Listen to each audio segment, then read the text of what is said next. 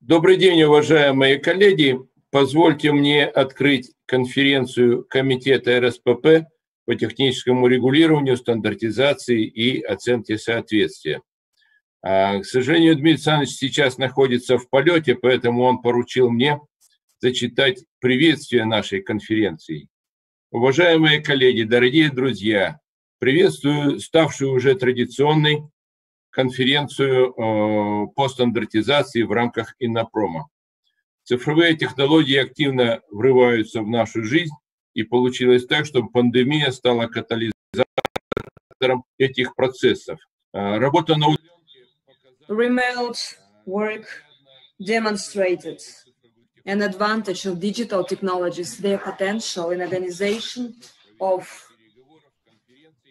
conferences, And of course, today we need to speak about digitalization because this is a perspective of not only overcoming the economic crisis, but further development of Russian industry. Today, Russian industry is implementing a number of projects in standardization, Russian manufacturers of railway equipment actively deploy digital manufacturing. The projects are being implemented by intelligent locomotives, digital twins, digital depot, which allows to establish the unified digital environment of exchange of data between manufacturers of railway equipment and their operators. I shall say that a number of large companies in Russia are successfully implement digitalization projects, including KAMAZ, Gazpromneft, Rosatom, Rosseti.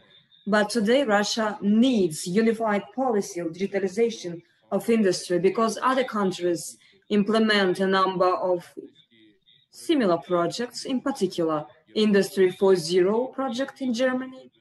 That is why a technical council is very important in this sphere for digital economy, which two years ago within the INNOPROM, established by the Russian Union of Entrepreneurs and Industrialists and, and Eastern Committee of German Economy. Today, the council includes more than 100 experts from both Germany and Russia, and we are thankful to our German colleagues for the active participation in the operation of the Council and participation in our conference.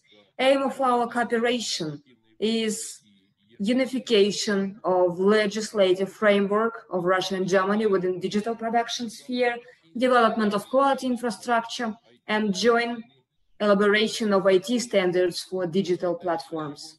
We believe that today there is a need on adoption of a state-based solution on deployment of a platform of Russian platform industry 4.0 and experts of the committee, experts of the council believe that in order to create this platform industry 4.0, we need to the transformation of our industry to advanced planning and management methods similar to Industry 4.0 platform interdisciplinary plan on Russian platform of Industry 4.0 in the Russian Federation, adoption and agreement on the IT standards complex for platform Industry 4.0.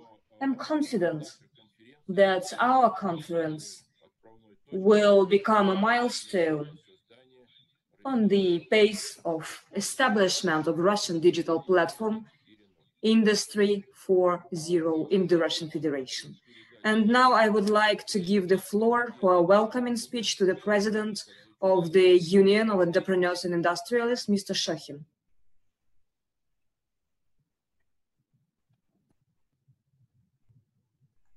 Unfortunately, the microphone is off.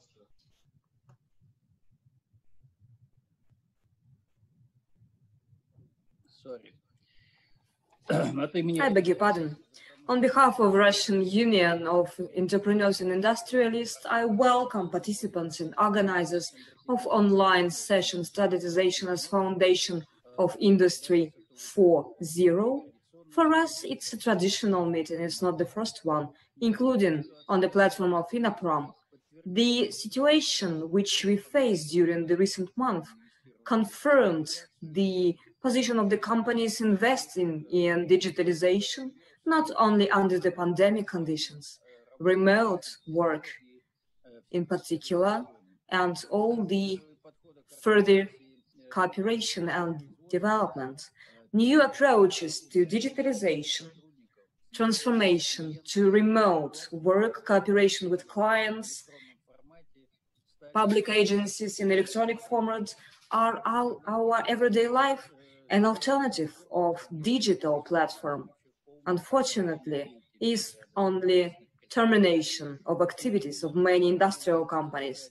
This morning, we have a, had a meeting of Coordination Council on counteraction of coronavirus, and our guest was head of Rospotrebnadzor, Anna Popova. We discussed a number of questions related with the activities of companies, industrial enterprises, mining enterprises under the conditions of pandemic.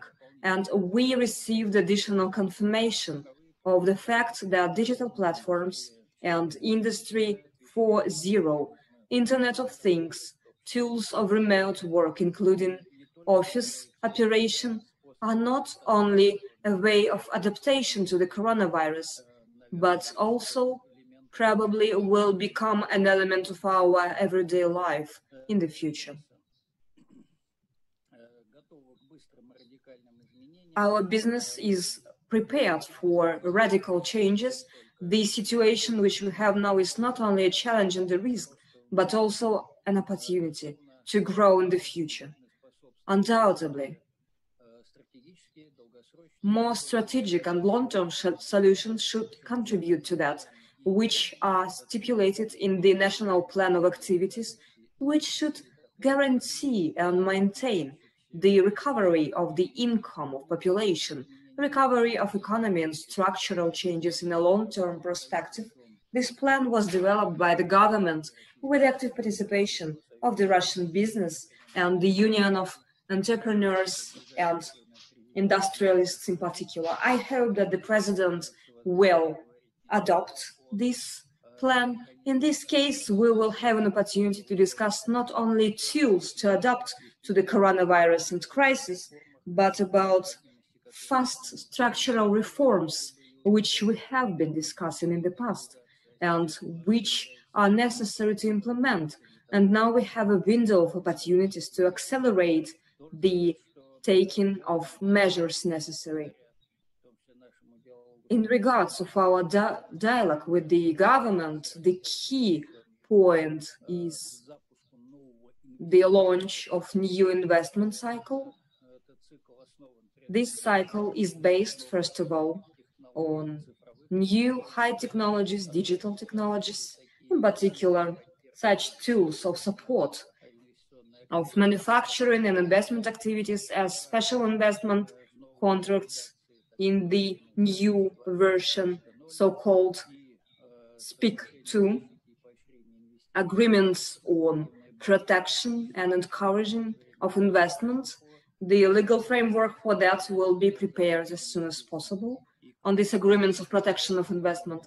And the key point, which the business emphasized, is stipulated and articulated very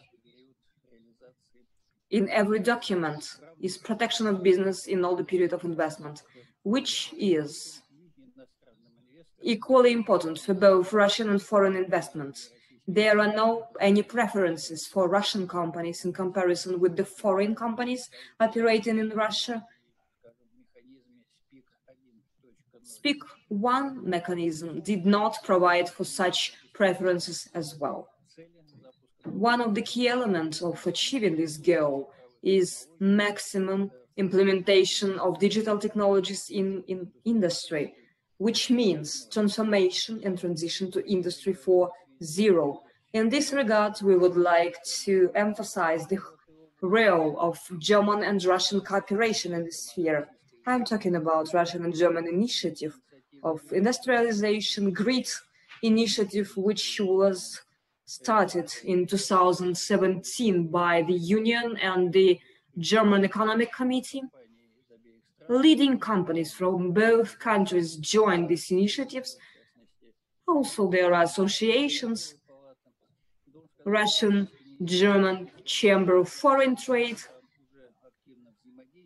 Businesses of two countries are actively cooperating in this sphere.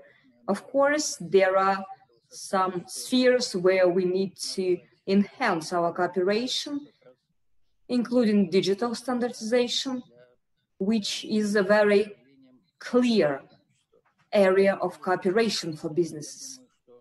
I believe that digital platforms allow us to dynamically discuss particular issues, especially under conditions when face-to-face -face meetings are not possible.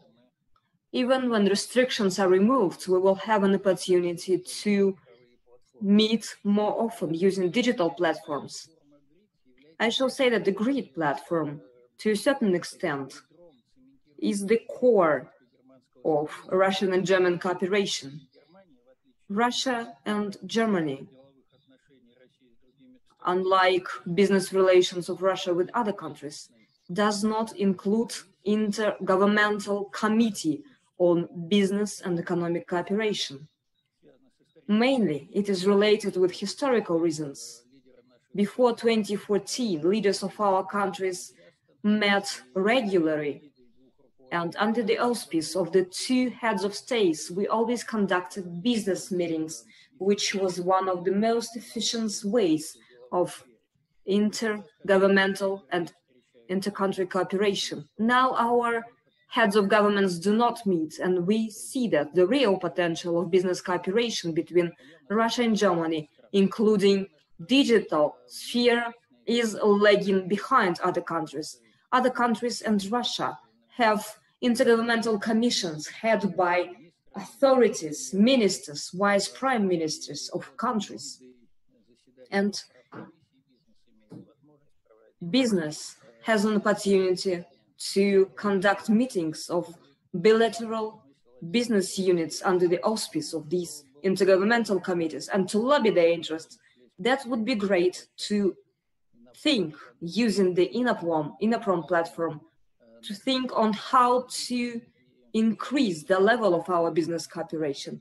And now we're thinking on establishment of a council or a committee on economic and business and investment cooperation with Germany, at least on our side, on the Russian side, in order to involve all the Russian leading companies, all the Russian associations interested in bilateral cooperation. I believe that on behalf of Germany, this Western Committee and other associations, chambers of commerce, could also join these efforts.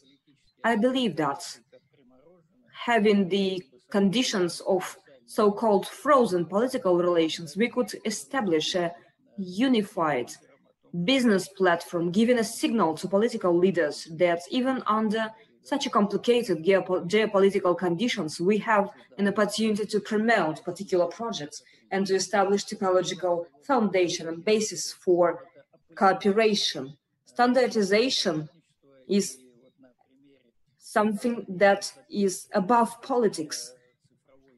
And our cooperation in the sphere of digital standardization could also remove many technical restrictions in trade and investment. And to summarize, I would like to add that the conference organized within INNOPROM by the Committee of the Union of entrepreneurs and industrialists are traditional.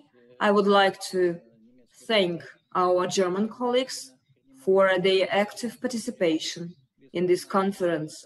Undoubtedly, they become catalyzers of development of not only standardization in different spheres of industry and in general cooperation in industrial and digital spheres. That is why I'm confident that this exchange of experience will contribute to promotion of establishment of platforms, including Russian platform Industry 4.0, decisions and solutions which allow Russian industry to adopt advanced methods of management, planning, etc. And we would like our German colleagues to have some benefits on this conversation and understanding that Russia is not only recipient of German experience, but we also have company which also could contribute to Industry 4.0 development in Germany. I wish you the best of success and health, of course, because this is a traditional wish at every meeting, including at every reception, because health is necessary for business as well. Thank you very much.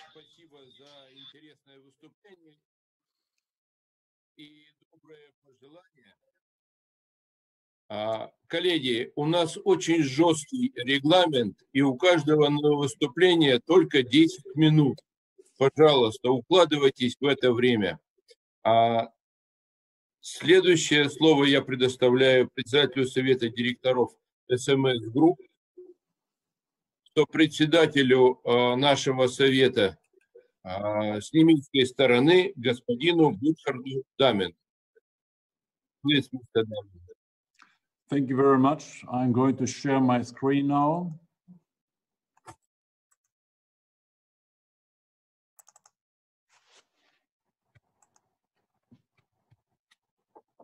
Okay, yeah, you got it.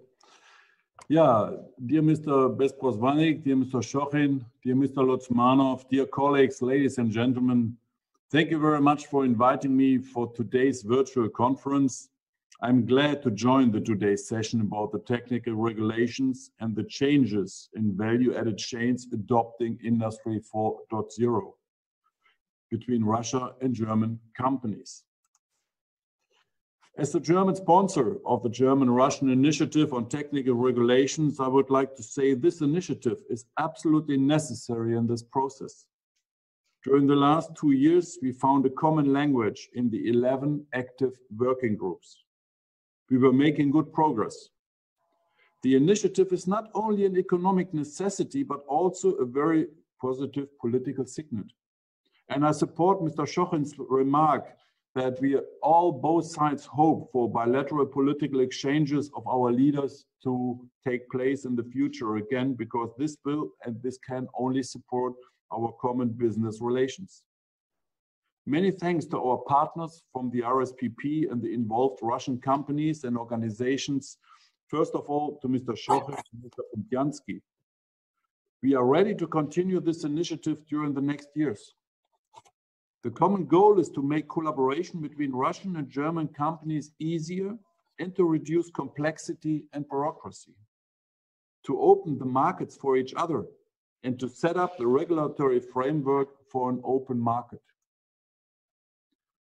The biggest markets are the United States and the European single market. Germany has a huge part of this market, opens the door to the whole European market to more than 500 million customers. The market entry is possible only by using harmonized standard and norms, valid certificates, recognized accreditation bodies, calibration laboratories, etc. Almost all norms and standards are the same within the EU. Who has the norm has the market. Fitting to one member of the EU, like Germany, means a perfect fit for the whole European market entry. 14 of Germany's top 20 trading partners are EU member states. Trade between the European Union is constantly growing, and the trade barriers don't exist any longer in this economic market area. The Technical Regulations Initiative is a big change, a big chance to increase Russian exports to the EU and to diversify Russian exports. On the other hand, Germany ranks second after China in trade volume with Russia. Germany is the biggest industrial investor, has the most localized companies.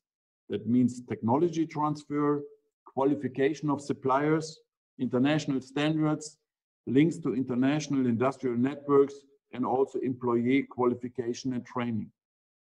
Germany is a logic partner for modernizing the Russian manufacturing industry. The majority of products, services, material and non-material goods require mandatory conformity assessment. The structure of the German-Russian trade gives a clear picture of the current situation. German exports to Russia are mainly high-tech and industrial goods. German imports from Russia are almost covering all commodities. To change this picture, German-Russian initiative on technical regulation is a suitable and useful tool. We are willing to improve the present situation and to create a win-win situation for both parties. You know better than I do, export of hydrocarbons is no longer a future concept. Diversity of experts is also necessary because of the decarbonization of the industry, especially on the sample of the industry I'm active in, the steel industry. Whereas the demand of oil and gas is continuing to decrease in future. The EU plans a so-called Green Deal. The plan includes potential carbon tariffs for countries that don't curtail the greenhouse gas pollution at the same rate. Digitalization is the future to generate further growth. Industry 4.0 is a solution for the real world for manufacturing industries like machinery and plants, the automotive sector, chemical sector, electronical engineering, and even for raw material extraction. Industry 4.0 was invented by German companies to connect the internet to the Internet of Things, to the production IoT digitalization of all industry, including sales, services, and logistics. Digital transformation is also a major area in our initiative. Some working groups cover smart grids, cybersecurity, ontology and semantics, and even Industry 4.0. The international cooperation become even more important in the digital age. National solutions are a phase of outmodel, a phase of the past. Machines talking to machines, crossing national frontiers is the matter of tomorrow.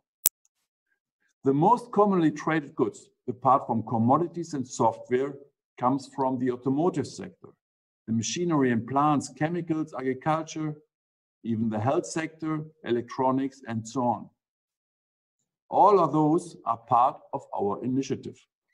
These are also the most exported German goods to all countries in the world. We, as a German economy, are ready to collaborate with the Russian companies to make real industrial projects happening in both countries and economic regions in the EU and the Eurasian Economic Union. The technical regulations, standards and norms are the basis for all economic activities and future success. We don't want to increase the difficulties. We don't want to build more trade barriers and other restrictions in international trade. Set picture shows all barriers existing in international trade by today. All of these constraints prevent business opportunities between all parties involved and also between Germany and Russia. Our initiative should be a counter model. I am absolutely sure about the success of our German-Russian in initiative on technical regulations. Thank you very much for all your participation in the working groups and for everybody listening to the attention. Thank you so much. So closing up. Thank you very much, Mr. Dahmen, for a very interesting presentation. И если позволите, я коротко расскажу о... And if you allow me, I will briefly tell you about the interim results of work of our board. Please have the presentation on.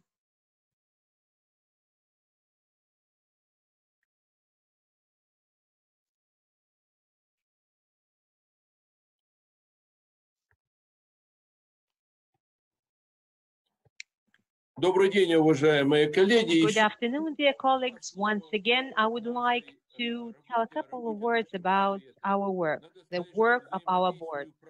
I would say the interaction of the industrial circus of Russia and Germany, this interaction is paid a lot of attention on the government level, and these issues were discussed at the meeting of our president Vladimir Putin with the management of uh, the German Committee of Eastern Economies in December this year, and we are following these agreements. And the committee that is being headed by Mr. Pumpyansky, and I would say that our committee is functioning for more than 15 years.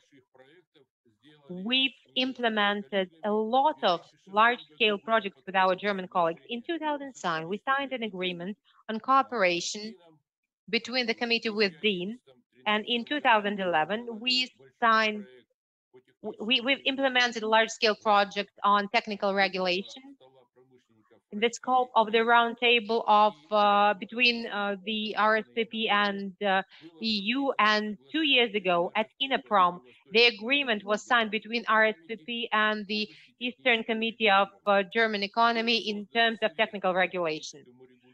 The board on technical regulation and standard, standardization was established for digital economy, and this board is successfully working on July the 10th this agreement was signed, and on the second day, on July the 11th, we've hosted the first meeting of the board and we discussed the plans for our future work.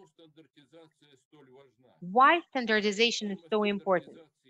The system of standardization and conformity assessment that was developed was created about 100 years ago for this second technological layout. And we are talking today about digital technologies and digital standards for Industry 4.0. And we are speaking about equipping the production facilities with machines. That is why the approach to standardization should be totally different. If those disadvantages and difference in standards that we used to have, having the difference in railway track, those could be compensated by just uh, changing the wheels at the border between Europe and Russia. But speaking about digital space, it's impossible. That is why standards should be uniform and the same. And the industry and experts in Russia, Germany, and other countries should work together on development of the uniform standards. And this is the main topic our board is dedicated to in its work. And it's not by chance that the German Industry 4.0 is the Committee on Standardization, in which we have the representations of experts from leading industries and Ministry of Energy and Economy, Ministry for Research and Science, and different standardization boards of Germany. And that is why we need to concentrate the efforts of the Russian industry, of Rosstandart and uh, Ministry of Industry and Trade on development of the set of standards for digital platform uh, in the Russian Federation under Industry 4.0. Our board from the Russian side is headed by Dmitry Pumpyansky, and from German side, uh, Mr. Um, Burkhard Damert, and thank you very much for your presentation. We are engaged in traditional directions such as implementation of technical requirements and directive, EU directives, procedures for conformity assessment and product certification. But also another circle of issues is related to digitalization and digital standardization, and some of the projects will be described in the next presentations. Here, I would say that an active part is being taken by the leading Russian companies and German companies, and also the authorities uh, such as Rosstandart and Ministry of Economy and Energy of Germany take an active part. Our Council works actively, uh, and in December in Munich, being invited by the German part, we were discussing the operation of our working groups. So we've created the plans for this year. In February, we had the meeting in Berlin uh, with the Committee of uh, the Economy and the RSPP, where we've approved the activities of our council. And last week, on July the 3rd, we had the meeting of our expert groups, online meeting of our expert groups, and would say that in spite of any pandemic, the work of our working group and the possibility of uh, the offline meetings, so we would say that even in spite of the pandemic, uh, the work of our groups is very productive, and the results that we obtained allow us to think about the success in future. Speaking about the main results, here we see the quality infrastructure. Uh, the issues are being discussed on development of standards based on European standards in Industry 4.0 platform in Russia. In the first turn, we were discussing the issues, and we should discuss such issues as uh, the mutual recognition of certification of products. Uh, at least we need to undertake the first steps in this direction we need to speak about harmonization of Russian and European standards and uh, along with uh, the European directive. And we should also pay special emphasis to such issue as the glossary in three languages, Russian, German, and English in Industry 4.0. Because for creation of common platforms and standards, one should have the uniform understanding of the terminology. And this is one more presentation that will be made and uh, also the issues related to development of catalogs based on ECLASS standard are important and the digital system of continuous monitoring of uh, the power lines uh, is very important. And here we have a cooperative effort of the Russian and German engineers, and it would produce very important effect, not only for Russia, but also on an international level. Speaking about Russia today, we see that active discussion is in place that is related to national action plan uh, related to recovery of our economy. As I've already mentioned, Today, in the first turn, we need to create the uniform platform for the Russian Federation industry under Industry 4.0 platform. And we need to implement the methods for production and cooperation between the manufacturers within Industry 4.0. We need to develop standards for this platform. That is why our proposals were given to RSPP management, to the Ministry of Industry and Trade, to the government. And I think very soon Russia will start creating the platform for the Russian industry 4.0. And the experience and the practice of our German colleagues is extremely important for us. Thank you for your attention. And I would like to give the floor to the Deputy Minister of Industry and Trade of the Russian Federation, Alexei Besprozvanny. We work in close interaction with uh, this ministry. I'm speaking about our committee, and I'm grateful uh, for them for their support and for understanding and mutual work. Thank you very much. You have 10 minutes. Thank you very much. Good afternoon, distinguished colleagues, dear friends. A lot of things have been said, and we were talking about the council operation. I would like to focus on some elements which were named. First of all, I would like to thank for invitation to such an important event. You know that we are always actively participating in this work and the results of our joint meetings were already mentioned. Recently, we often talk about development of standards for application in digital manufacturing and digitalization of the process of standards development, taking into account the importance of standardization, which my colleague will talk about. I mean, Alexey Abramov, head of the standard group. We need to provide standardization of all the elements of the system of technical regulation.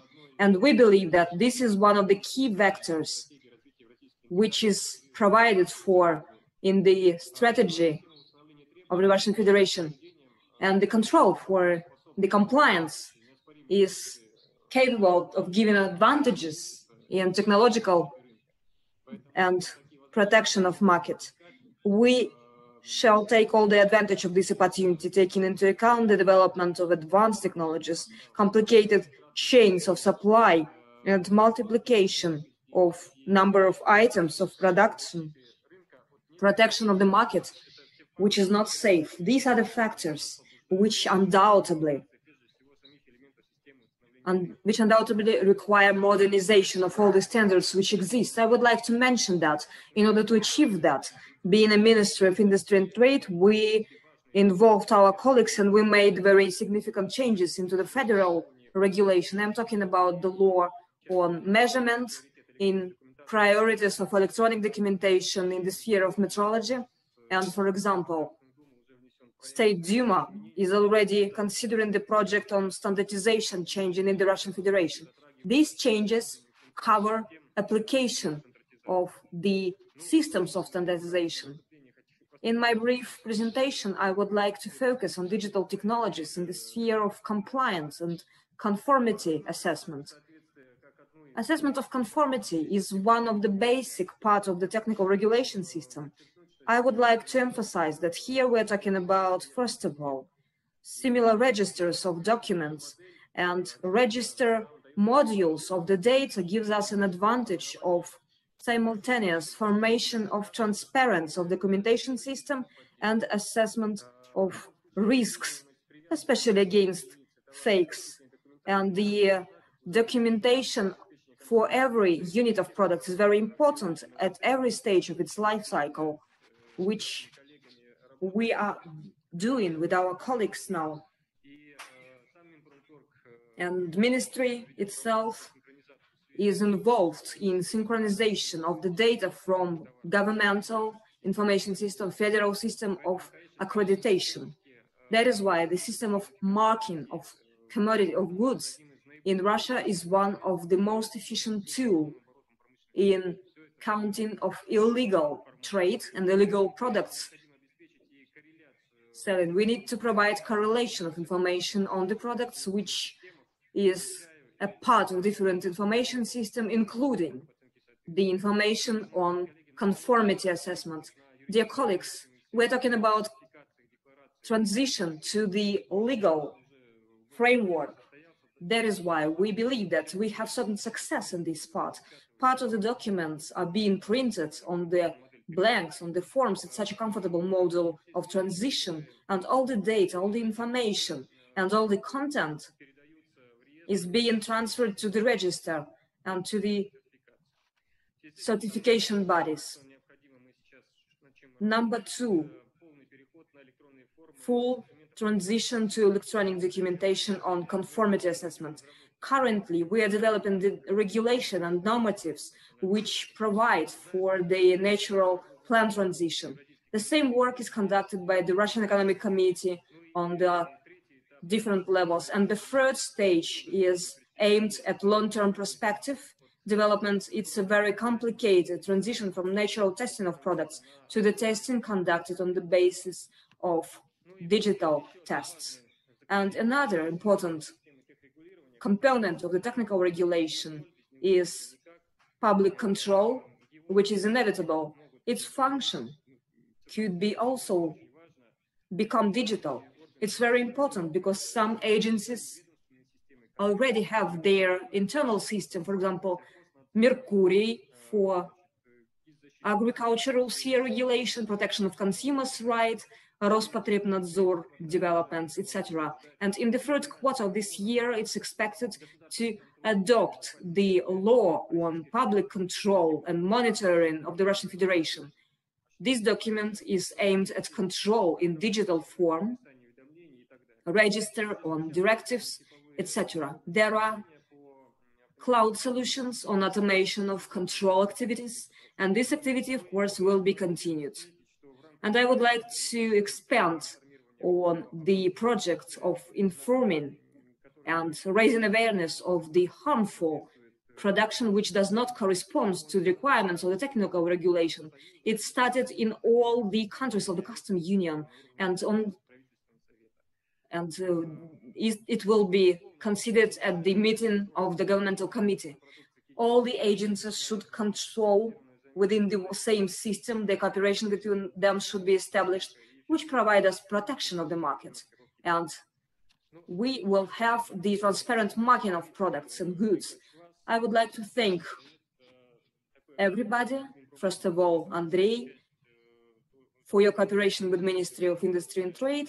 I briefly described our projects. I know that you are reporting on the results of your work. Once again, I would like to emphasize that all the work today is conducted in the sphere of synchronization of the national infrastructure and digital transformation of the Ministry of Industry and Trade. That is why we are engaged in all the works which I mentioned. We are open for your proposals. We are willing to modernize our systems and to move forward towards the aim which was mentioned, synchronization of our platforms in particular. Thank you very much. Thank you, Alexei, for interesting presentation, for your support. I believe that the next meeting of the Council will take part with participation of you or other representatives of the ministry. We will be happy to see you. Thank you very much. And I would like to give the floor to the representatives of DIN DKE, VDE, Dr. Dennis Kenji Kipker. Please take the floor, Mr. Mr. Kenji Kipker. Thank you very much for the possibility to speak here today. I will now share my screen with you, share the presentation slides.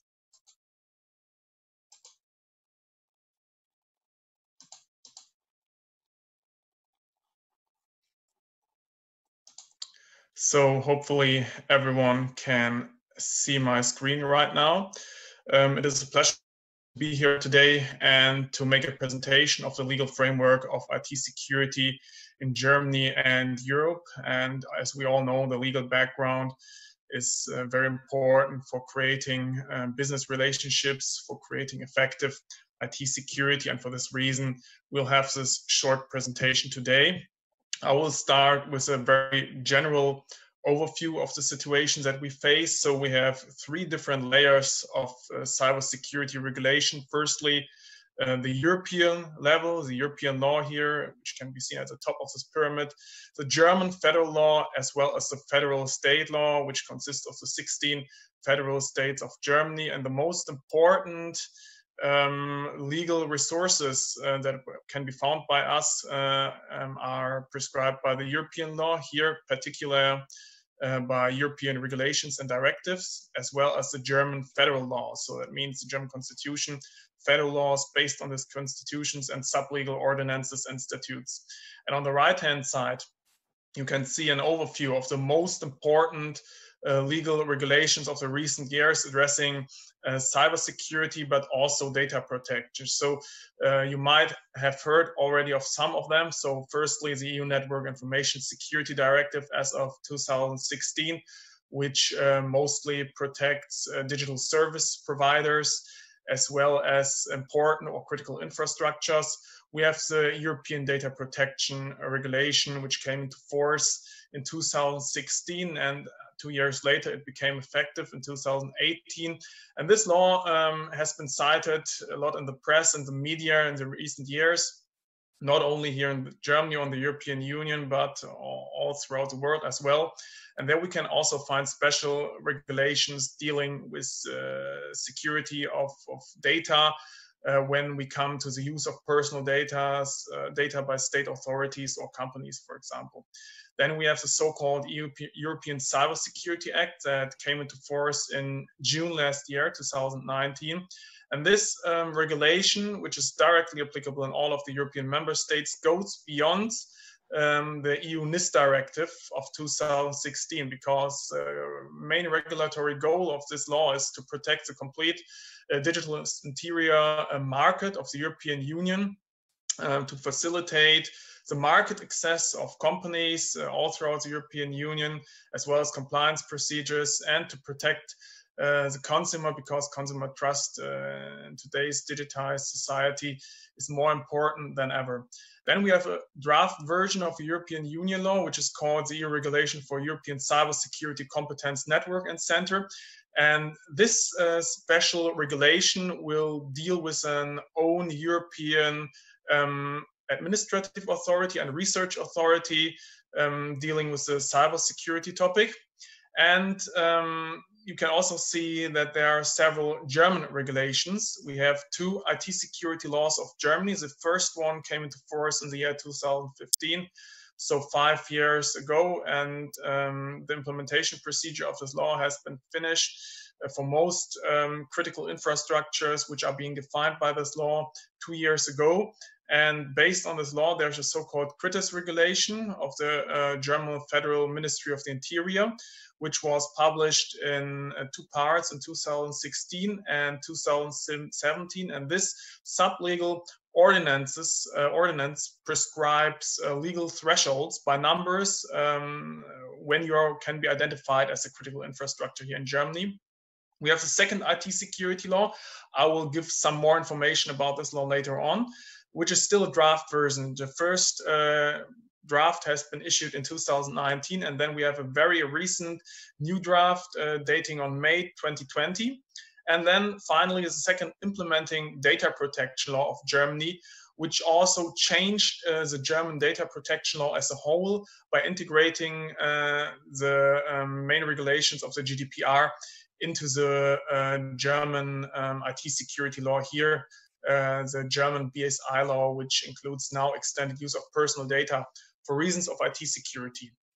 And when we put all the regulations together that we had until the year 2016 on European level as well as on national German level, um, we can take a look uh, onto this chart here that I have created. So we see on the left-hand side the operators of critical infrastructures and of digital service providers, for, for example, energy, um, providers. And on the right-hand side, we see uh, the Federal Information Security Authority of Germany, which is called uh, Bundesamt für Sicherheit in der Informationstechnik, BSI, as well as the European authority that is in charge uh, for cybersecurity issues. That means the European Network Information Security Agency, ENISA.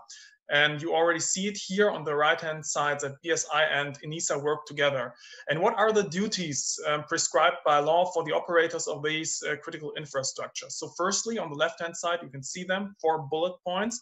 They have to ensure that there's an essential technical uh, protection of the IT system that are necessary for the functioning of the critical infrastructures. These measures have to be have to correspond to the state of the art, and the state of the art, of course, is not a term which is legally being defined. So we need to go back to standardization here. And every measure that is being taken by such a provider or operator underlies a cost benefit calculation as an adequacy assessment. And every operator has to uh, create a contact point to the Federal Information Security Office of Germany and report any issues uh, which are relevant for cybersecurity to this authority. And that means any a significant disruption of the IT that might lead to a failure or a disruption um, has to be um, um, has to be has to be informed by the BSI, and the BSI collects all this information as a central reporting unit and uh, issues warn and alarm messages, gives updates and situation reports about cybersecurity back to the contact points of the operators. They uh, put it into their information security management system, evaluate the whole situation, and then we have a um, business continuity management here, or plan to check act circle, which is also prescribed by law. And everything you see here is based on the uh, political cybersecurity strategies of Germany as well as of the um, European Union. And uh, the current legislation that we face uh, will go beyond that. So we had this Network Information Security Directive of the European Union. We had the IT security law of Germany dating on 2015. And now we have the EU Cybersecurity Act, which came into force last year. And I mentioned it in the beginning. The main goal of this um, EU Cybersecurity Act is to facilitate the trade um, in the European digital single market. And uh, one main asset of this um, EU Cybersecurity Act is to create a so-called cybersecurity certification. And you see here on this slide that there are three different levels of cybersecurity certification that are being prescribed by this EU um, CSA. And the assurance levels uh, that have to be reached by any product or service um, are associated uh, with the risk um, um, that is that comes up with intended use of the uh, information or communication technology product or the service or the process, the probability as well as the impact of a possible um, incident um, with regard to IT security. And currently we have a rolling work program started on European Union level, which is led by the European Commission. And this um, rolling work program defines a list of relevant ICT products uh, and services. Currently, um, this certification, according to CSI, is uh, voluntary at the moment, but it might change for certain infrastructures such as critical infrastructures. And in case of a, a certification, according to CSI, or a state of conformity after self-assessment on the lowest level of the CSI, a supplementary cybersecurity information has to be made publicly available. So here again, this uh, face the situation that the law prescribes more and more transparency with regard to cybersecurity. And when we take a closer look onto these cybersecurity levels that you see here, basic, substantial, high, we can say that uh, these cybersecurity levels will be used for different kinds of products, of course. So the basic level only says that the product or service meets the basic requirements have has been evaluated uh, at a level intended to minimize the known basic risk of incidents and cyber attacks. So mostly for consumer products, the substantial level says that uh, the product must be able uh, to counterattack um, cybersecurity risks uh, or cybersecurity incidents that are carried out by actors with limited skills and resources, mostly important for Industry 4.0. And the highest level says that the product or service has to be able um, to um, counterattack um, attacks that are uh, correspondent to the state of the art and that are carried out by uh, actors with very significant skills and resources. And the highest level will be, in my opinion, be relevant for so-called critical infrastructures that are also being related by the German IT security law, as well as the Network Information Security Directive of the EU.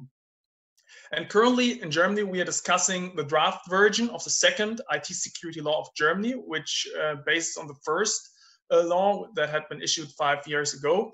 And the uh, intention uh, of this law is quite similar compared uh, to the current uh, political situation that we have in the European Union, because the main intention of the law is to make a further development um, of cybersecurity for the society as a whole. So it means not only the protection of the critical information infrastructures, but to protect all relevant companies and state authorities, as well as consumers, that means private persons, which are mostly using um, IoT products.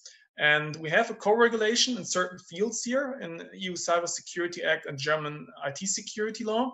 And I just um, made up here some of the most important aspects uh, that the new regulatory um, approach of Germany includes, but this is still a draft version. So everything I say here might be changing in the next month. So we have the protection of citizens by a so-called unified IT security mark. So a higher vis visibility for IT security can generally be reached.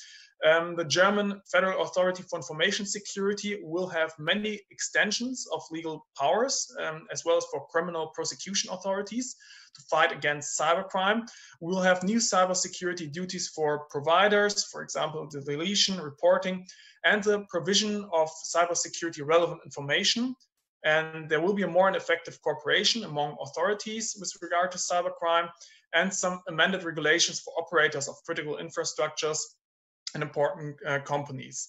The first version um, of this draft of the second IT security law also included some extensions in the German criminal code and the German criminal prosecution code, but these uh, extensions have been cancelled in the second draft version dating on to 2020. Uh, to come to a conclusion for my short presentation, what are the uh, impacts of the current IT security legislation for businesses and consumers. So firstly, for businesses, we have many laws here in the European Union that have been made clear, I guess. And uh, the result, of course, is that uh, we have new resources that have to be developed by uh, the companies to be compliant with the upcoming cybersecurity regulation here in Germany and the European Union. And we have also seen that uh, it is not more only the protection of critical infrastructures, which is important here, but the consumer trust. And this is one of the key elements uh, of EU cyber politics in the next years. And the certification um, is a very good situation for um, many companies because it allows uh, to create a single certification which is valid in all European member states. So uh, certification efforts are much more manageable and uh, not as costly as they are today.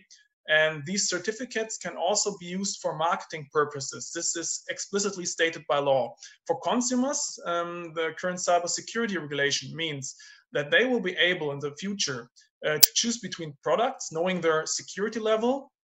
And uh, for this reason, the um, consumers will also be able to make evaluation of security efforts of companies and will be able to make more informed choices than they are today. Here again, transparency as one of the key factors of, of cybersecurity policy and informational self-determination. This is a legal um, key that we have in the European data protection law, will go beyond that. It will be here in uh, IT security regulation as well, that uh, informational self-determination is becoming more and more important. So that's it for my very short overview of European and German cybersecurity regulation. And uh, thank you very much for your attention.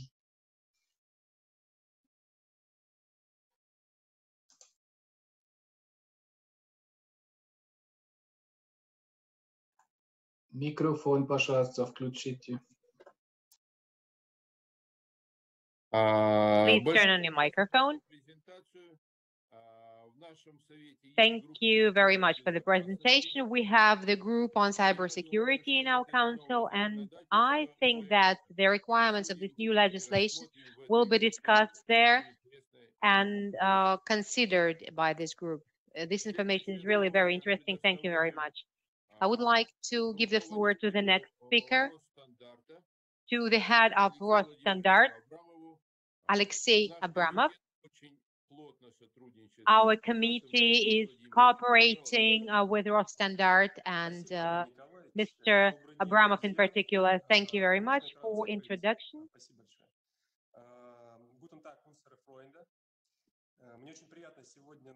It's really nice to be here with you today. And I'm grateful to the RSPP management, and I would like to pass my gratitude to Mr. Pumpyansky for organizing this event. It's a tradition to have INNOPROM in the hospitable end of the Urals, but today we have a new format for this event, and uh, there is a Jewish joke about Granny Sarah, who speaks about the video communication technologies. It's a good thing. You have guests, but you don't need to feed them. So it's really great that we gathered together today. Uh, we have very close cooperation with our friends from Germany, uh, along uh, with the discussions we have uh, in Rosstandart. We have the B2B cooperation uh, the COMET cooperation. We work with DIN.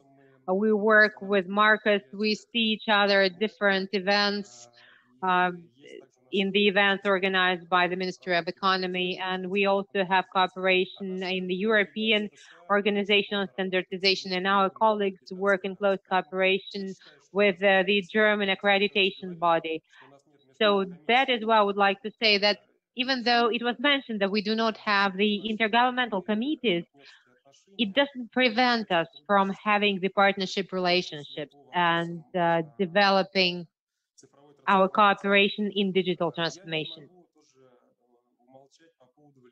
I cannot but speak about the effect the pandemic makes on us. Everyone remembers the uh, Turgenev's novel Fathers and Children and the conflict of generations and the conflict that we have between millennials, boomers, and that conflict of generations was somehow smoothed down and people of older generations, they managed to experience those instruments and technologies, digital instruments that had never been used before. And we were able to see this in practice when the remote instruments were brought to life, the video communication, digital badges that were used by the regional authorities for regulating and limitation of uh, the spread of the new infection. And also remote education for school children and students. And recently we had the online voting for amendment to our constitution. And I would say that the digital literacy of our population nowadays is much higher. And of course, we see that the digital digital consciousness in government sector grows and the leaders and government leaders and the officials responsible for certain directions in industry, they get understanding how to use digital instruments for improving efficiency of their work. Uh, in our academy of the state service, we have uh, the training courses for experts in CDTO who have certain knowledge and skills for the government agencies to be able to bring to life the programs of digital transformation. I was a trainee under this program and a lot of experts are being trained for the government sector to be able to respond to challenges that are existing at the moment. We see that the digital services are accelerated in our everyday life. We can see it every day. We can see it at work, in the car. Uh, we see it when we go in for sports or have leisure. We use these instruments this way or another, and we're using the achievement of digital revolution. Uh, I got different messages today. Perhaps the, this is due to the fact that we have the INNOPROM Marathon. And uh, this is the high-tech conferences that goes in parallel under Skolkovo Fund. And we've received a report about uh, rating on digital preparedness of our small and medium businesses. And our experts um, account for the fact that this BDI uh, index increased during the pandemic. And these services are being used, digital services and tools are being used not only by, by large companies, but also by SMEs. Uh, and as for cybersecurity or cyber stability, this is probably used to least extent, but we are mainly speaking about the sales channels and optimization of business processes. Based on this, I would like to make an overall assessment about what is happening with the quality structure of Russia, and I would like to speak in details about standardization. We've analyzed the data that was generated by our national quality infrastructure, and we see millions of transactions that are happening per year for provision of security for products and services consumed not only in Russia, but also in Eurasian Union. And what we see we see that in spite of certain information system, dedicated information systems, the quality of the data is low. And it's not possible to utilize this data for sophisticated analytics. We still have the paper document. speaking about the relationships between the regulator and market participants and clients in terms of certain services or relationships between the authorities or, or governing boards, we do not have the information exchange on a desirable level. And this, of course, makes a negative impact uh, from the point of view of bad players in the market. We see fake documents. There are some cases when we deal with fake documents and we have to initiate investigations of these cases. We need to look for the fraud and we need to struggle with such a phenomena and we do not have the instruments of tra traceability of products. We see some process challenges when we see digital factories, smart grids, when we design smart cities or develop intellectual transport system, traffic system. But it requires special approaches to quality infrastructure. And I would like to pronounce six major directions in terms of digital transformation in quality structure. The first one have already been mentioned, implementation of ledger, ledgers in terms of recording of the results. This is related to testing, metrology, etc. Another direction is the electronic document exchange between the users and regulators and the regulator authorities. Number three is digital libraries with uh, technical documentation, standards, catalogs, and other reference materials. Number four, and it has already been mentioned, is the creation of digital twins for industrial system testing facilities and measurement systems. Number five would be remote access and control, calibration, and uh, remote inspection. And the last thing is the implementation of digital services based for the uh, for the client and made for the client, uh, cloud repositories, cloud storages, interface adapters, etc. And along with the digital tab,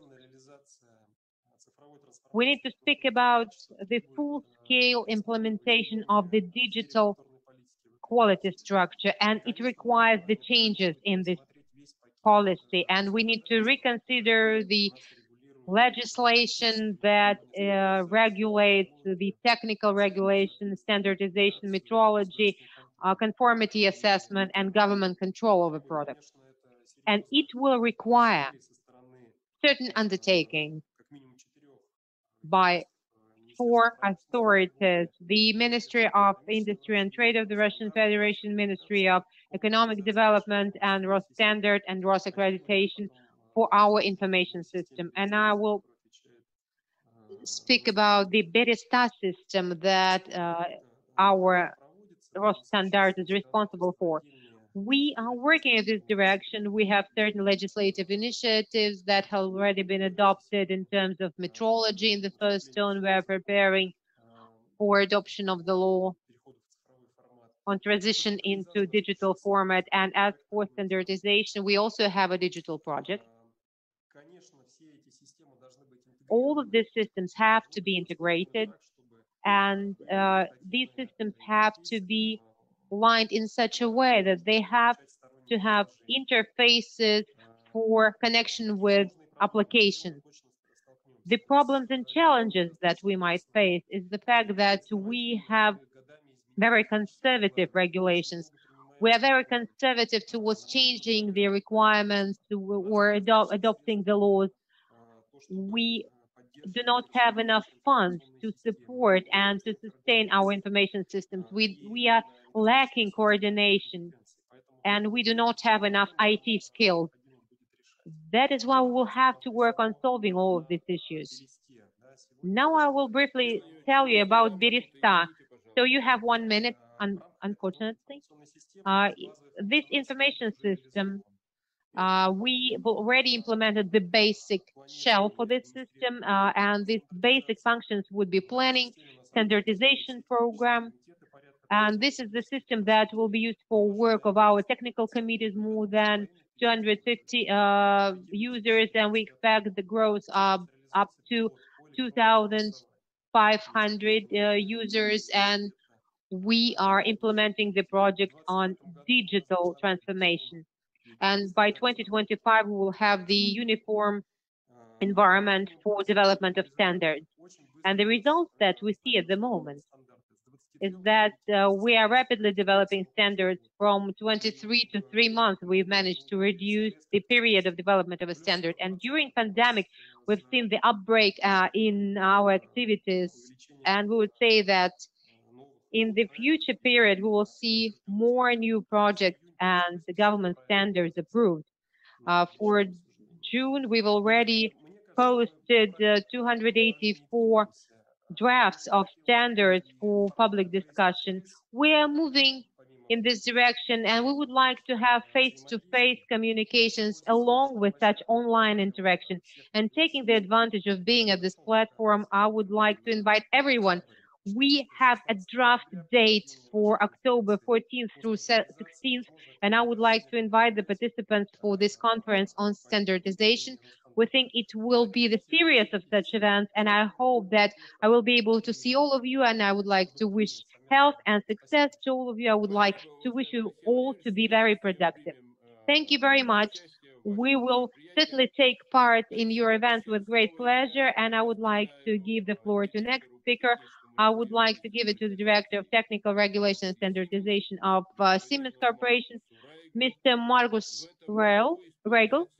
And this year, uh, they will celebrate uh, 10 years of uh, us knowing each other and 10 years of our cooperation. And in October 2010, we've started and we've launched a new, very successful project. And I'm grateful for our good relationships and I appreciate the work that we're doing together. I would just like to apologize and tell you about the timing. Only 10 minutes you have. Thank you, Andre. I am now getting started to share my screen. There it comes. And I make it full screen. Well, there it is.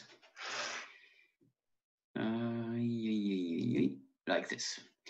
Now, my presentation, uh, thank you for having me invited to this uh, conference is all about uh, the German Industry 4.0 initiative and its standardization aspects, in which my company Siemens is, of course, strongly involved.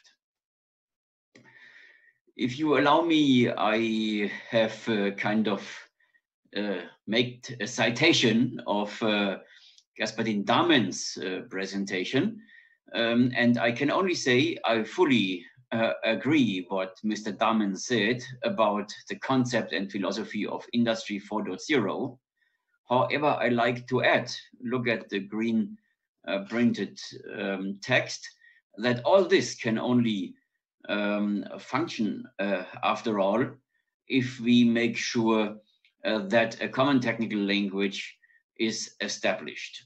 A common technical language that um, helps the internetworking, the meshing of the machinery across country borders based on standards. However, as the standards are not just there to take them and uh, use them, you gotta first make them by your own. At least the most of them have to be done uh, all from scratch We make it a three-step procedure, kind of like you say in Russia, Raz, dva, tri. Давайте. and the first step, uh, Raz, is always to make, make a plan. And this plan in Germany for the German industry uh, 4.0 community is uh, represented by the so-called standardization roadmap. The roadmap uh, would uh, have a look at the left-hand side. The roadmap would first collect the use cases, uh, the application scenarios of industry uh, to um, determine from there what the concepts, more the theoretical concepts are uh, that you have to establish. After that, in a next step, the identification of technologies has to take place. And based on concepts, use cases, and technologies, you would be capable of identifying the need of standards, either complementing existing standards, improving existing standards, and having them complemented with extensions, or develop new ones from scratch. By the way, you can download uh, this uh, German Industry 4.0 standardization roadmap from the web. It's available in English language. And our strong recommendation is, or rather formulated as a question, why not make it a Russian version of it in your, as one of the first tasks in your future uh, Russian Industry 4.0 platform. Let me come to step two, is always to define an architecture. For defining an architecture, there is no need of, uh, say, much advanced technologists. It's more a matter of standardization experts that go to ISO and IEC and develop, say, an architectural framework and have it all the way uh, published in form of a standard. The so-called reference architecture model, Industry 4.0, that um, has been defined as the reference architecture for the German Industry 4.0 concept was published as the IEC document 63088 in 2017.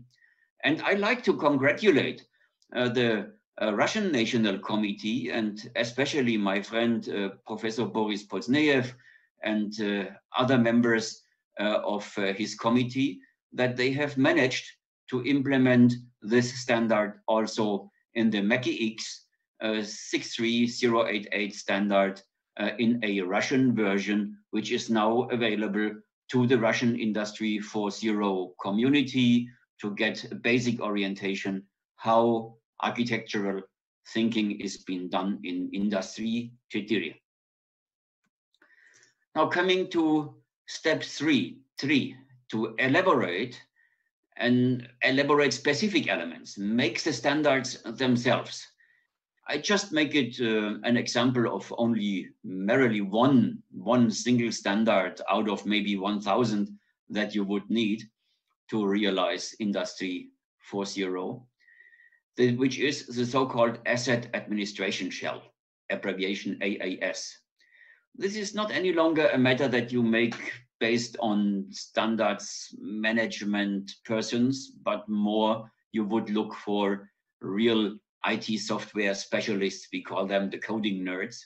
They would also go besides IEC, ITU to uh, foreign consortia such as the World Wide Web Consortium, the ECLASS, or the Internet Engineering Task Force. What they would do there, as an example, for the um, asset administration shell are projects to actually implement in detail uh, this particular standard that partly is not any longer being published in a paper form or a PDF like a textbook, but it will be kind of a source code uh, that you can immediately uh, implement onto a, a, target hardware by compiling it uh, into your uh, operating system. That is a typical example of only but one of many, many standards uh, that you would have to make. The work item of this particular one is already uh, up and running in the IEC Technical Committee 65. Now let me come to an appeal, to the appeal both towards the German as well as to the Russian industry community.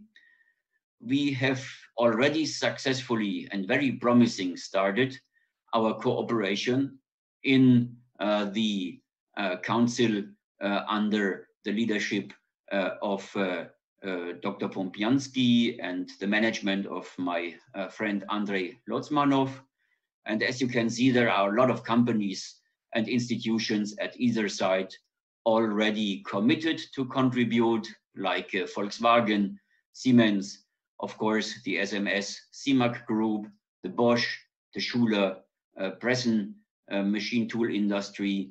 And on the Russian side, you would see, of course, the TMK, the steel and pipe makers, the Codex company, uh, that uh, the KAMAZ uh, making the heavy trucks, and um, academia, likewise, the state university Stankin.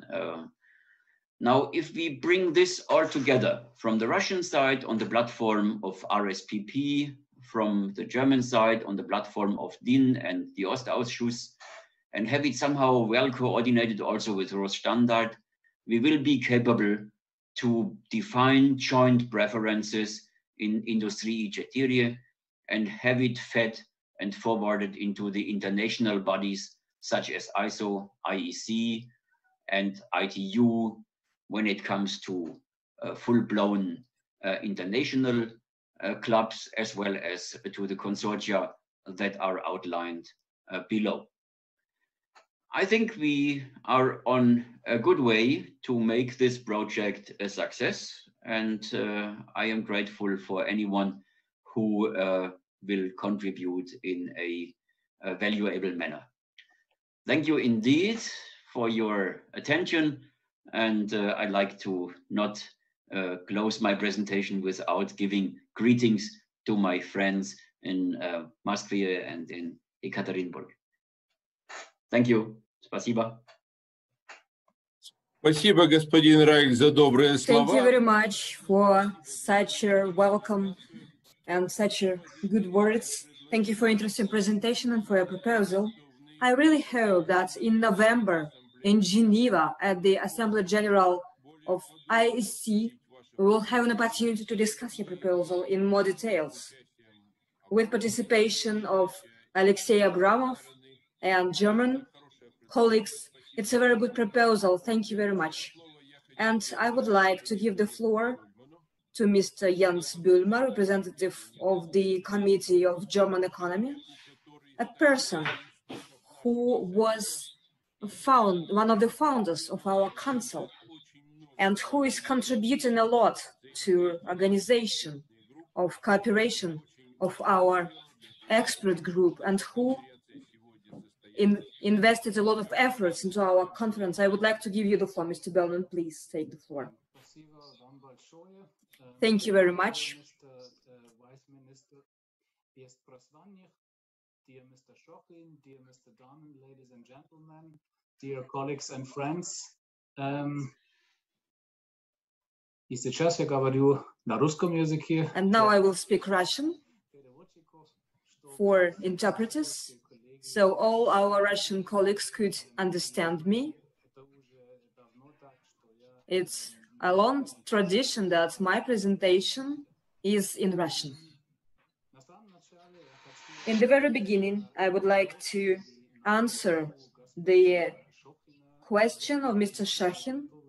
Of course, we are willing as German economy, as a committee, and we are willing to support initiative it's good that interdisciplinary commission is required. We shall do that on the level of economy. It's always a good idea. Honestly, for me, it's a great honor and a great pleasure to take part in INNOPROM even this year, despite the impossible, despite the lack of possibility to present at the trade fair, which proves stability. It proves stability of Russian and German relations even during pandemic, which is very important. Mr. Taben and Mr. Lotsman, Lotsmanov, Mr. Reigl discussed and talked in details about Russian initiative on technical regulation. I can confirm that both sides are investing as much efforts as possible on formulation and elaboration of the normatives because this is the basis for the business. business is based on that. I repeat once again. And I cannot change the slide.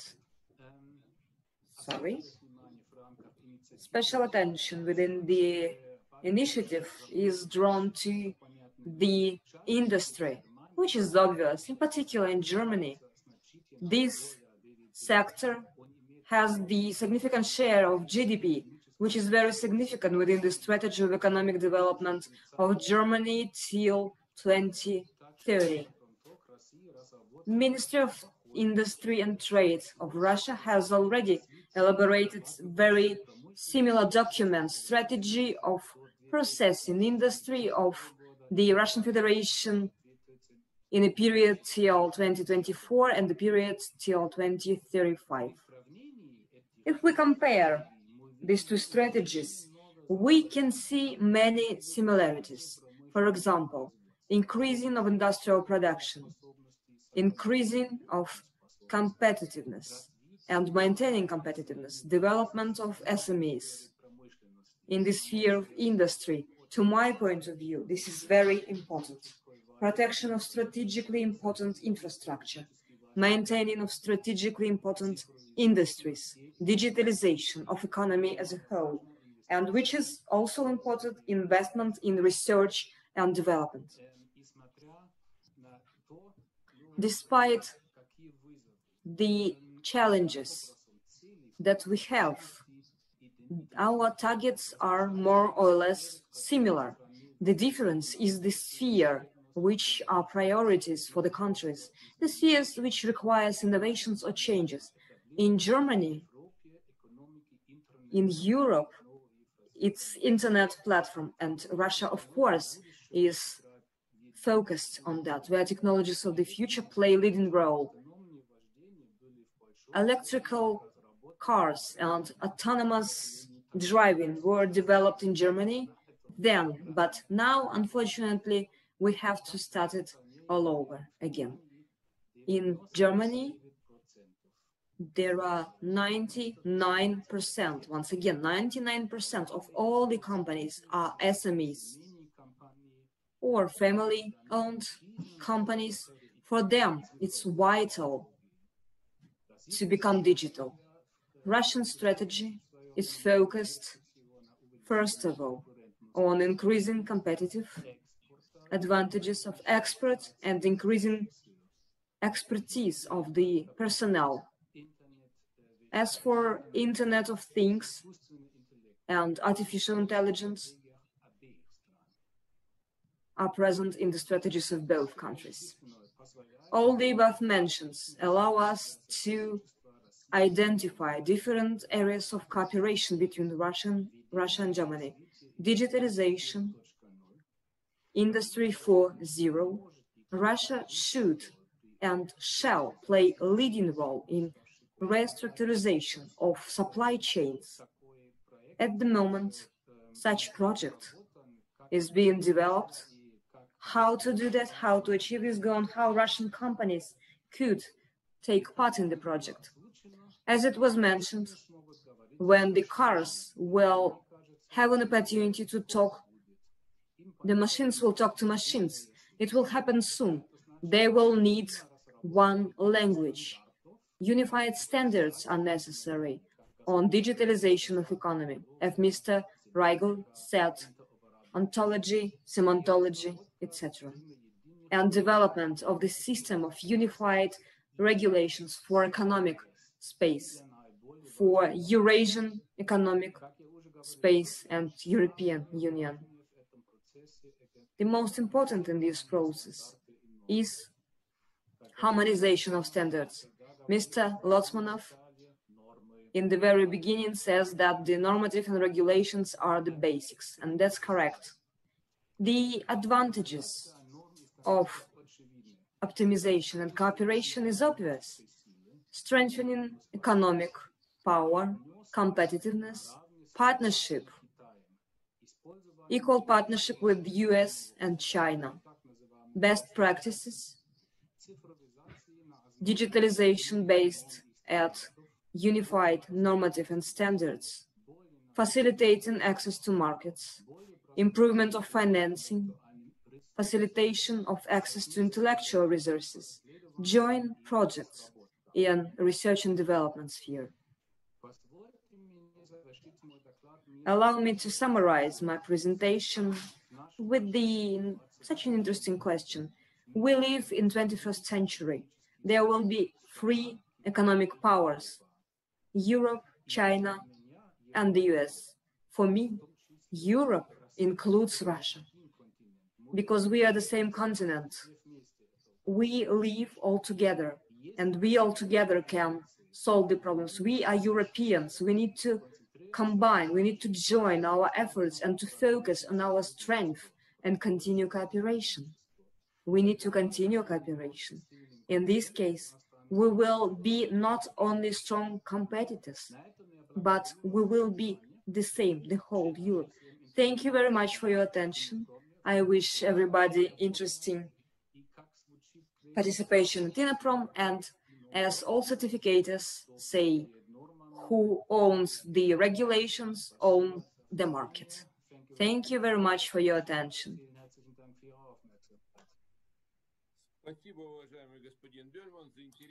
Thank you for your interesting presentation. And once again, thank you very much for a huge job in preparation of our conference. As a person to a person, a person cannot understand a person without same language and machines should speak the same language too. And for that, we need same terminology, both in Russian and English, and of course in German as well. And this very important step, which was already made by our council, is preparation of a glossary in three languages. Dmitry Pumpyansky signed the introduction to this glossary. We are giving it to Mr. Tamin. I hope that he will also sign the introduction and we will publish with this wonderful glossary, which was, which was prepared by expert group led by Boris Pozdneev. Good afternoon, dear colleagues. First of all, I would like to thank the organizers for this opportunity to speak with my presentation and to briefly introduce the work which was done within the frameworks on the Council on Technical Regulation and Standardization and Association of Digital Innovation in Machine Building Sector, which I am, where I am a chairman of the board. And now I would like to show my presentation. It's very practical to my point of view. Dear colleagues who are assisting me, could you please demonstrate my presentation? Could you please scale it? After such interesting presentations by Mr. Reigl, Mr. Berman, and Andrei Lotsmanov about importance of standardization and standards development, I would like to focus your attention on the issue which is related with systematization and standardization of terminology for Industry 4.0. The terminology base right now is the core of the ideas which are part of the concept of Industry 4.0. Terminolo terminology base will contribute to expanding the standards, which are supported by the architecture of Industry 4.0. It will contribute to elaboration of new terminology and their adoption, and of course, harmonization of this terminology. Next slide, please. I should not expand on the importance of the digital multilingual glossary. Our colleagues from Germany did great job in preparation of this glossary in both German and English languages. It was the basis, the foundation of our work, and we not only translated the glossary into Russian, but we analyzed it systematically. We combined the terminology, taking into account the whole spectrum of the standards existing and interconnection between this terminology. Another idea is related with the fact that trans-border character of development of platform of Industry 4.0 in development provides for expanding the number of languages where the term, on which the terminology should be presented. Today, we do not have systematization of terminology, especially in different languages. It makes our future processes of integration more difficult. In this regard, to our point of view, this is the first job done by us within the framework of the Council. This work could be promoted and become a serious pro project for developing a glossary of Industry 4.0. On this slide, I present the initiative on glossary elaboration. I said that it was the Russian and German Council and Expert Council of Association of Digital Innovation in Machine Building, where we have a very important group of experts with expertise in this sphere, with large experience in standards elaboration, and they work on multilingual glossary in the sphere of standardization. I would like to draw your attention to the fact that the basic, the initiative was based on Industry 4.0 and the report, including 81 terms and their definitions. It was the basics for us. And in addition to that, we did a large job in unifying the existing standards, projects in the sphere of standardization of e-business, classification, ECLASS, and other documents available within the frameworks of international organizations. I would like to emphasize that the number of terms related to the platform Industry 4.0 are about 1,000 items. Nevertheless, multilingual glossary includes the basic terms defining the concept.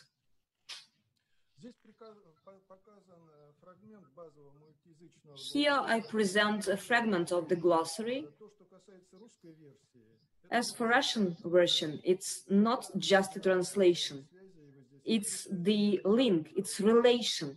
On the right column, you can see that it's not just a term and its definition, and also the interconnection between the terminologies which are part of this definition. And the next slide, you can see three basic terms, which is obvious, where you can see the systematic correlation. And these correlations are very important for the future users of this glossary, because understanding of terminology and their interconnection is the basics for the new terminology wording to make them harmonized and systematic. The basic term, as just like in Russian version, reflects the semantic interconnection on the basis of the semantic charts. It's a very good option of visualization. Today, we have significant progress using the artificial intelligence to analyze the interconnections between the terminology. In the future, we would like to use this intellectual support means for design of new terms. I would like to draw your special attention to these images. You can see that the basics of the terminologies are terms in Russian, English, and German. Today we can say that there is the third version on the Russian language. I would like to recall that official ISO languages are three languages, English, French, and German. Very often I'm involved in terminology problems because during the last 20 years I work actively in international organizations and I witness how difficult is to increase the number of official languages, to adopt standards in even free languages. In particular, we faced a very serious objection on behalf of some English speaking countries when we offered the glossary for the e training. It required us five years to adopt such an international standard in three languages. Today, taking into account the situation, with development of the concept of Industry 4.0 concept founded by our German colleagues, I believe that it is necessary to further promote and expand, increase the number of languages, including German language. It will not be simple, but I believe that it is very important. Mr. Lotsmanov, I see I'm about to finish my presentation. Today, we develop not only Russian version, but also the Czech language. I believe that in the future, we will also have French version, and in the nearest future, we will probably have Chinese, Korean, and Japanese translation. This methodology was provided for in our project. Here, I would like to emphasize once again that within the frameworks of our Council Technical Regulations, two areas related with machine building and production supported this job. Association of Digital Innovation also supported our project. And please give me five seconds to demonstrate four slides and this is association. These are our areas in the association related with standardization. Our committees formed and dozens of experts who are involved. And the last slide, I would like to thank the colleagues and our vision. The publication, the addition of this glossary, expanding of this glossary, probably together with our colleagues from Germany, we will make it a mega project on digital glossary. Thank you very much, Boris Mikhailovich, for interesting presentation and for the job you've done. We often say that our council is for industry, we provide standards for industries, and now I would like to give the floor to Viktor Lesh, Director General of Sinara Transport Machine Corporation, representative of the industry for whom we are doing all that. Mr. Lesh, please share your experience. Thank you very much. Dear colleague, I'm grateful for the opportunity to talk during this session. And I would like to say that I'm lucky lucky to be at the end of all of the discussions and at the end of presentations because my presentation that I'm going to demonstrate will speak about practical solutions that were implemented by Sinara Transport Machines in our interaction with our main customer, the Ru Russian Railways.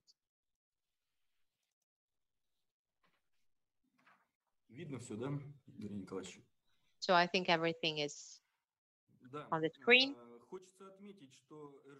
Here I would like to mention that the Russian Railways started the digital transformation in 2017. And one of the main objectives for 2021-2022 was that uh, almost 25%, 55% of all of the operations and business processes have to be digital. And our company is the supplier of uh, equipment and processes. So we provide services for locomotive maintenance, and so we provide maintenance for the rail track and uh, other types of uh, rail track and railway equipment. And I would like to mention that we deal with the critical infrastructure, and this is what we're talking about today. And the first thing we've touched upon was the cybersecurity and the requirements in cybersecurity in terms of uh, interaction with our large-scale government company. And the creation of our products was connected with digitalization of this pro product and provision of cybersecurity criteria and the early steps in 2017, 2019 in terms of development of the digital platform for the Russian rail railways. Here on the slide, you see that by 2025, we're supposed to digitize all of the key processes and services that Russian railway provides. As for development of this platform that was called Digital Railway, uh, we were uh, one of the main players as far as we are one of two main producers and manufacturers and suppliers of the locomotives and uh, we are the ones who are developing the digital locomotive. We've created unmanned digital locomotive. Uh, such locomotives are used at Luga uh, in Oktyabrskaya Railway. And as for our undertaking, everything is understood and well received by Russian railway with certain requirements on data quality and format. And we've obtained the standards by experimental way. We have obtained the standards and glossary and the classifier that we're talking about today in the process of our cooperative effort uh, in creating the digital railroad. And being an active participant in this process, we can transform to proper regulation of our activity because we're working in probably in the most complex format of a vital cycle format, life cycle format, and we've already started to digitize all of our industrial facilities. We've implemented the digital design for all of our digital projects and processes in production. And the only thing that uh, have already been mentioned by uh, Ministry of Trade and Industry, the only thing we're lacking is the regulation and adoption of results from digital twins, tests from digital twins uh, in terms of quality, and uh, we should consider on how to implement the data obtained on digital twin to real time, to real mode. And uh, today, we, we, we, we, need the uh, in situ tests and uh, in situ operations uh, for the customer. And we need to deal with, we need to understand how to deal with digital transformation and we need to respond and we need to reduce time of response to the needs of the market we should also uh, mention about the results that we obtained in our cooperative work with Siemens in digitizing our locomotives.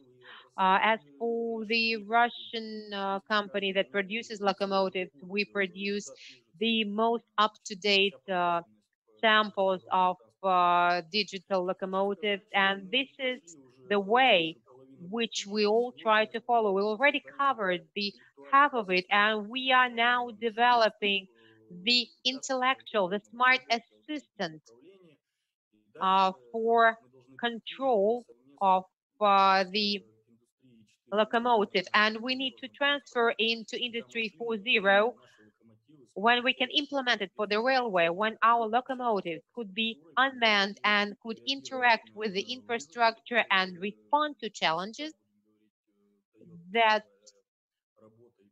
are not always happening in routine operation.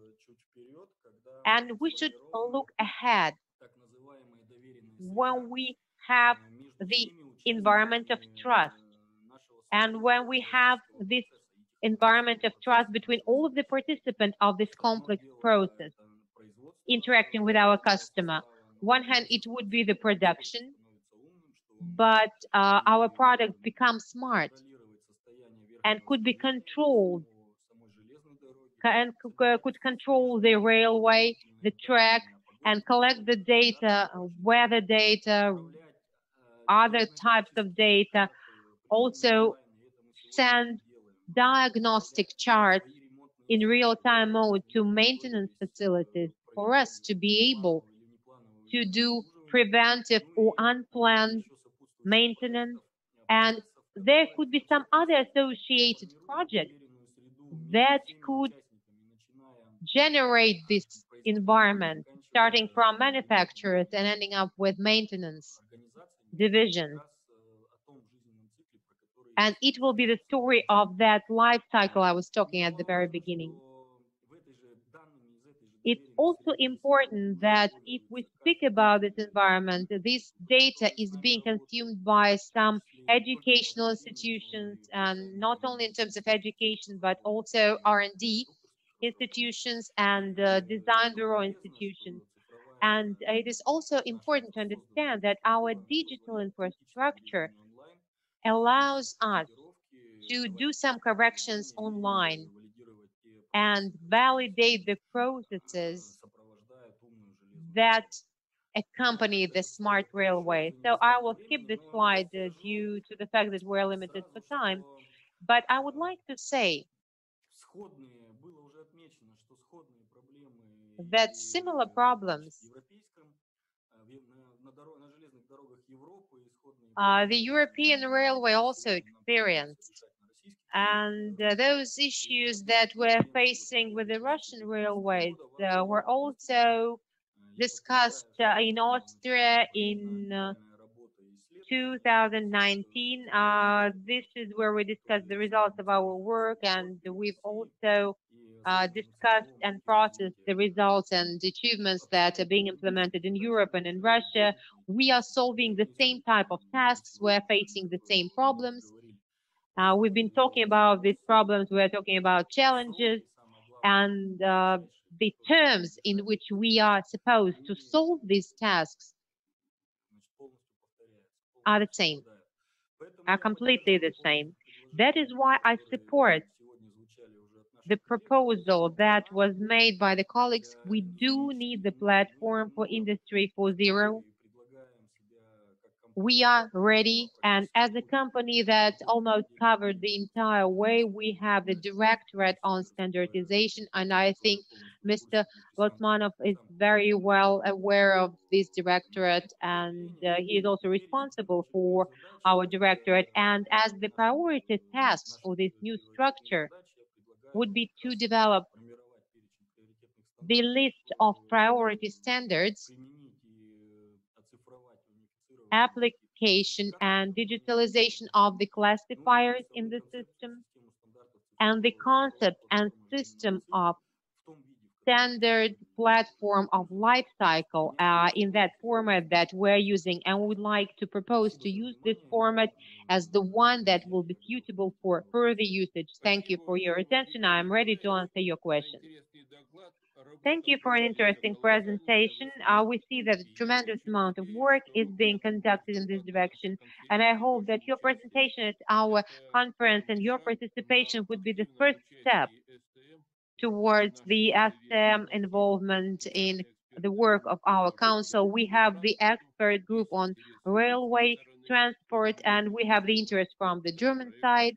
And I think that uh, we will be able to develop this project. Uh, then I would like to give the floor to Sergei Tikhomirov, the president of Codex Corporation, uh, that is responsible for large-scale work on uh, pr producing catalogs uh, in the scope of ECLASS classifier.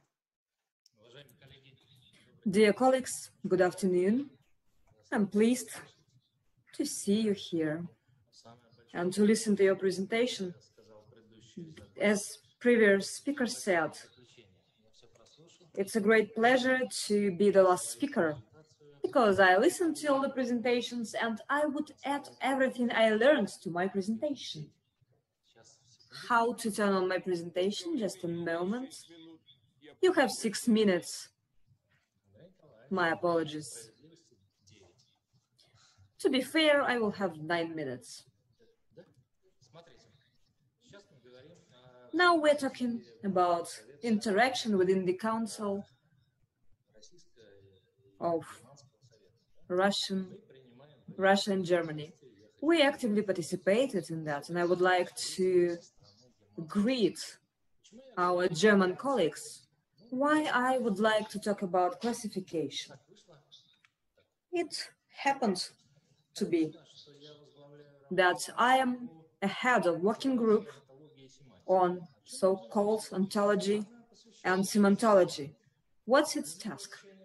Language, language of interaction, of communication between people and technical systems, a language of communication between a person and a person. Boris Pozdneev made a great presentation about the glossary. That is why all I have to do is to talk about language of interaction between technical systems, in particular information systems. What is that? What part does classification play here? And the essence is as follows. We are talking about language, we're talking about semantology, we have ontology as well. What is ontology? Which, which is the meaning, the system of meanings. Industry 4.0 concept includes ontologic systems.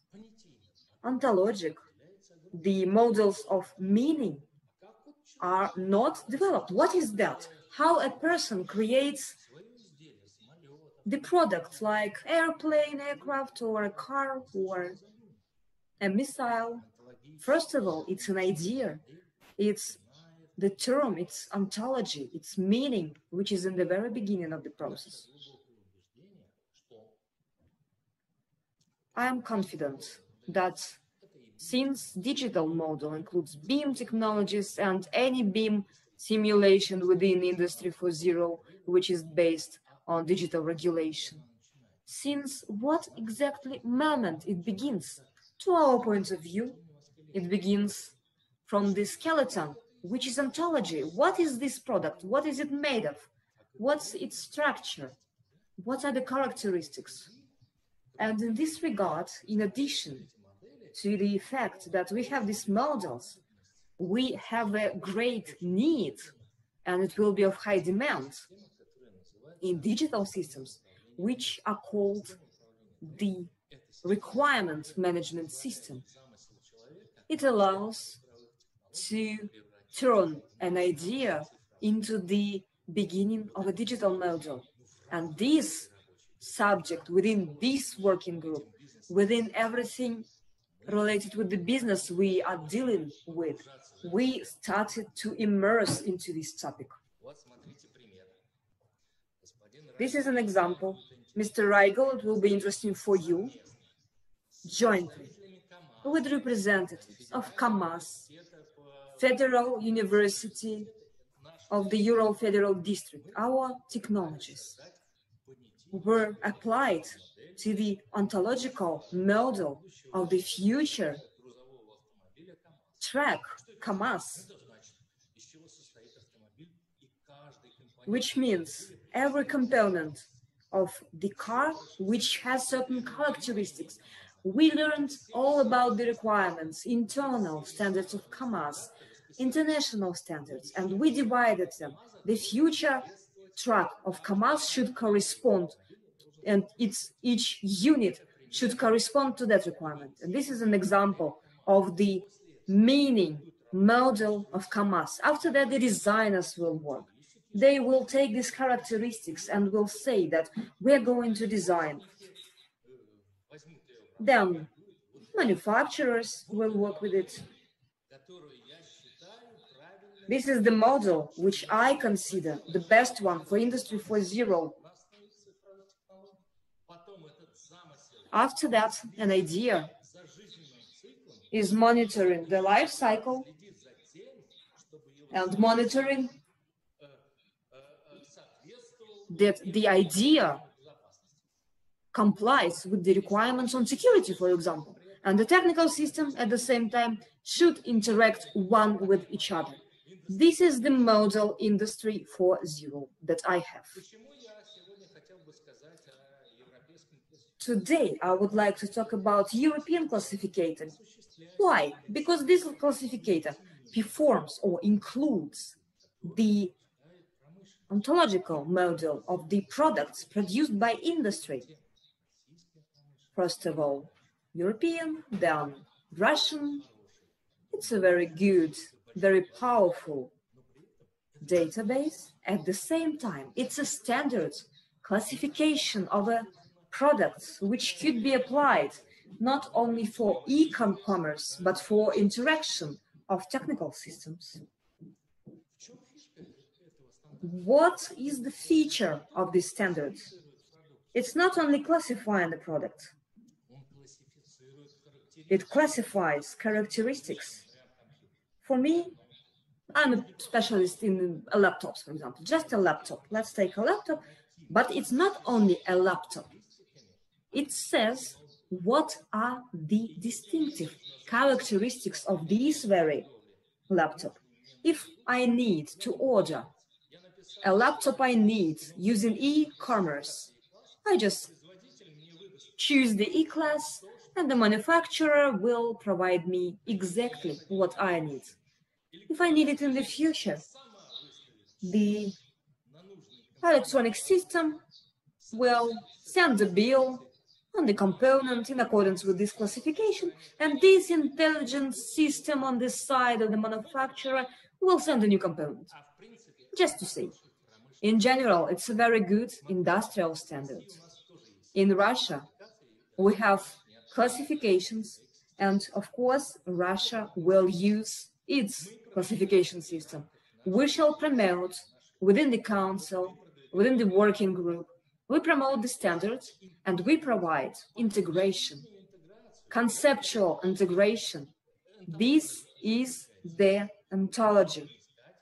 We will search for within the council and we will provide this integration. I am representative, not only an active person, I am also a businessman.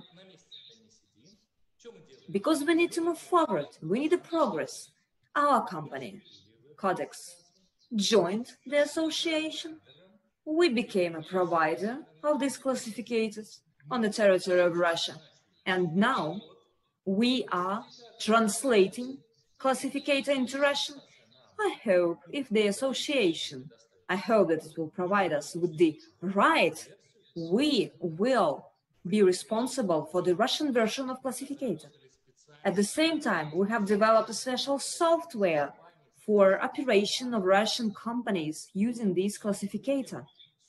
And we, taking into account the license agreements with associations, we will provide our industrial enterprises with this classificate, and we will also integrate this classificator with Russian classification systems.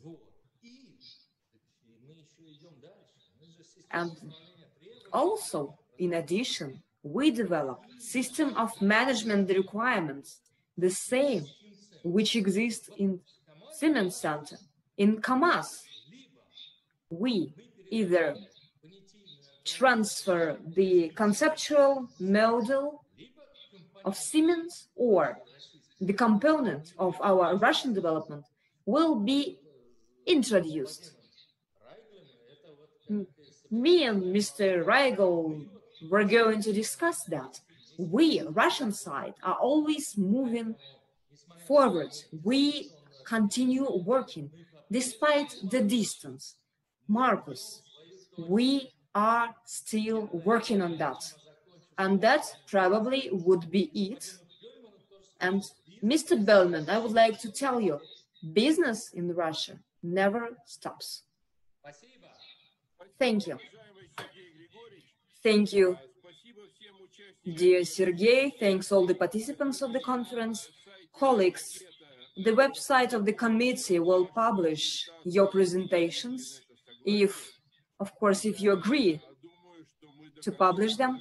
And I believe that by the end of this year, we will launch the website of our council in three languages where we will publish the reports of our working groups so our industry could see what our council is doing and take part in the work of our council actively. I would like to thank everybody. I wish you good health and all the best. Goodbye.